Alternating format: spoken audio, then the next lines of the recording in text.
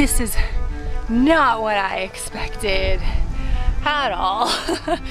um, yeah, my dog is really, really hot.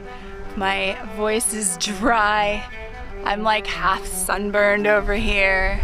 Um, yeah, Sylvan Meadows Loop at Santa Rosa Preserve or Santa Rosa Plateau. The preserve part is actually closed, but the plateau where there's this huge meadow, that's open, but,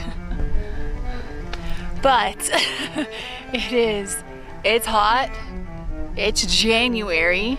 Uh, a few things that could go wrong did go wrong for us today and I'm just, I'm really feeling the burn on this cheek. I really am.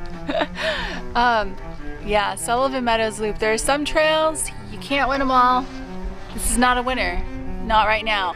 Not to say that Sylvan Meadows is not a gorgeous place. I mean, it's pure magic during golden hour. I've gotten some golden hour shots here the last time I was here, I think I got the best shots I, I have in my portfolio um, as a photographer. It's so gorgeous during golden hour.